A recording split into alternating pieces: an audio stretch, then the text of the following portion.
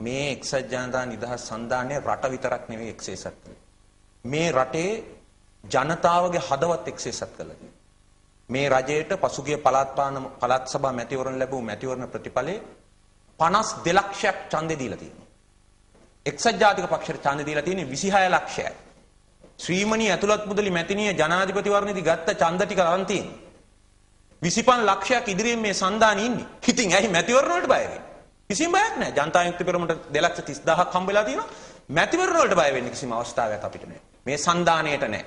මොකද ජනතාවගේ හදවතු ජනතාවගේ ආධ්‍යාත්මයත් මේ රට එක්සේසත් කලා වගේම එක්සේසත් වෙලා ඉන්නේ ඉදිරියේදී ඒක තවත් මහා පිම්මකින් ඒක